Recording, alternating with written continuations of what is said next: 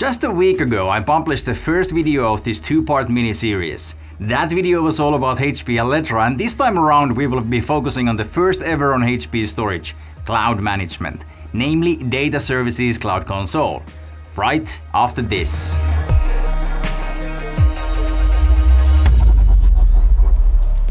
Hi again, my name is Markus Leinonen and I am your enterprise tech enthusiast. Thanks for stopping by.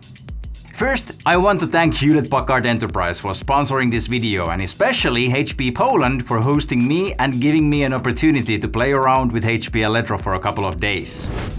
Over the decades, storage administrators have become skilled at managing arrays using dedicated graphical or command line user interfaces that are running on the array itself or at least somewhere in the same premises.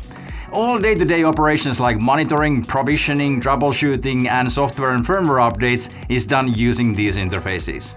This has a few drawbacks though. Managing geographically distributed fleet of storage devices is increasingly cumbersome the more arrays you have.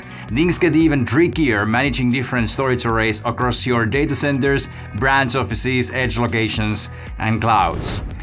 To solve these exact challenges, in May 2021, together with Alletra Storage Arrays, HP introduced the Data Services Cloud Console, or DSCC, their first cloud-based storage and data management platform.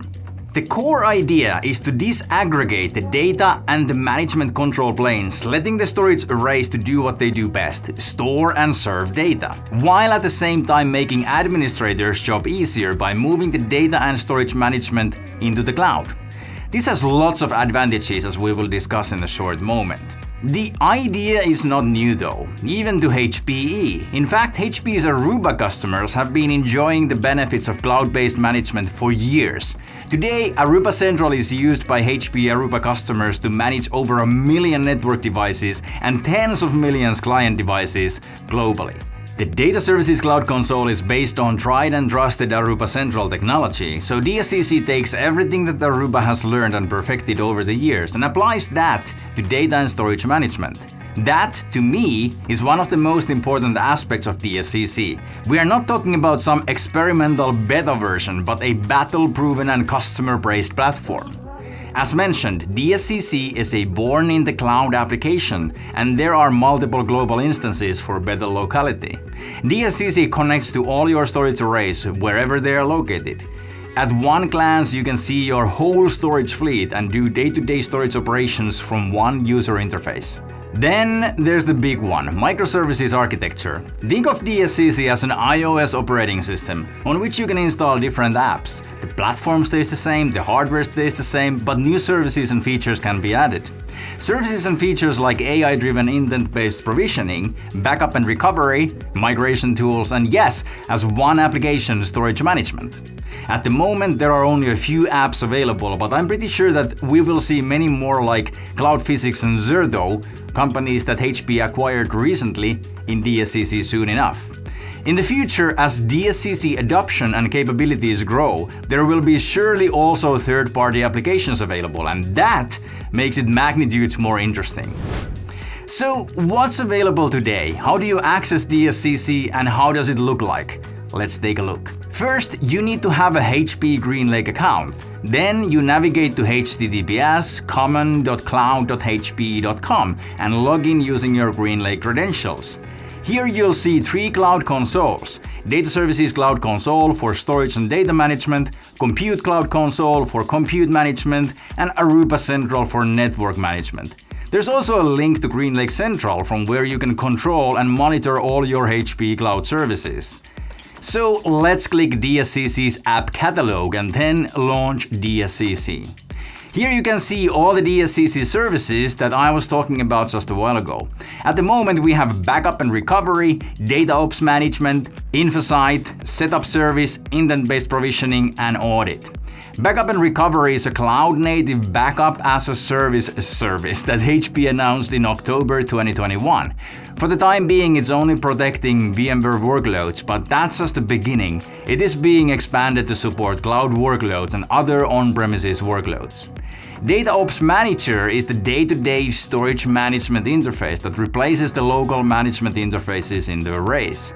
We can check the details and status of arrays, provisioned volumes, and connected hosts. InfoSight is still today industry's most advanced AI ops for infrastructure. HP got InfoSight in its corner through Nimble Storage Marriage. Clicking this will lead to the familiar InfoSight portal.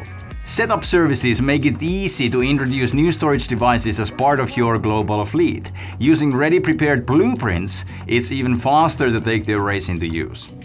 Intent-based provisioning is one of the more interesting DSCC services that transforms storage provisioning from traditional LUN-centric manual process to an AI-driven app-centric approach. This is how it works. All you have to do is answer a few questions, and together with InfoSight Analytics data, intent-based provisioning suggests location, array, and storage tier for your new volume. Now developers and business owners with no special storage expertise can use this self-service provisioning and build and deploy apps much faster. Audit gives you a holistic view of all user actions and issues in your entire storage fleet at one glance. Overall, I like the minimalistic and clean, almost Nordic design of the DSCC UI. I find the general usage very simple and straightforward for the most part. Exactly how a modern user interface should be. DSCC is still in its early stages and far from its full potential. At launch, only HP Alletra storage arrays were supported. Now DSCC also supports HP Primera, with HP Nimble storage support expected by the start of the new year. Storage system support will expand in the future and more apps will be introduced. It's going to be very interesting to see how DSCC capabilities and ecosystem will grow as time goes by. What I want to see in a big picture is all three HP Cloud Consoles, Data Services Cloud Console, Compute Cloud Console and Aruba Central merge I mean, they are already based on the same microservices platform, so why not just have one platform with multiple apps for different devices and purposes? Just like with smartphones. It would defeat the purpose if you would need one phone for social media apps, another one for work apps, and a third one for everything else, wouldn't it? So it would be ideal to have just one user interface, let's call it Infrastructure Cloud Console, through which we could manage the entire global infrastructure. Heck, now that we are wishing, I would like to see just one portal for everything that's even remotely related to HP Cloud.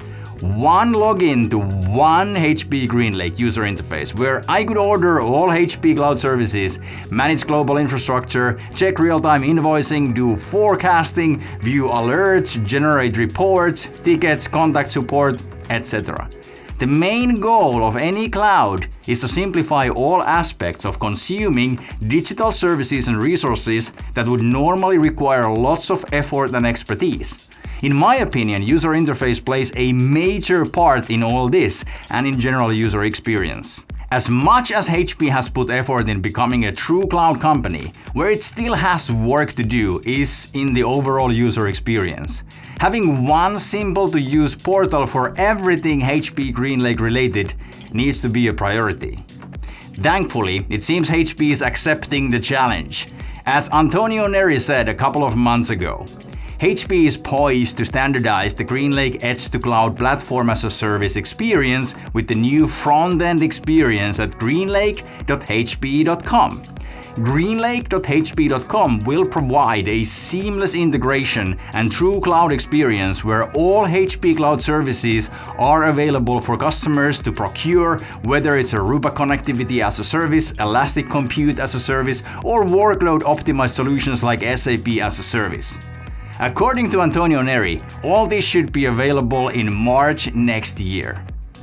As I said, this one is a big one for me, and I've been waiting for this for a long time. I literally can't wait to see what HP has up its sleeves. Thanks for watching these two videos, hope you liked them, and if you did, remember to hit that like button and subscribe. See you with the next video.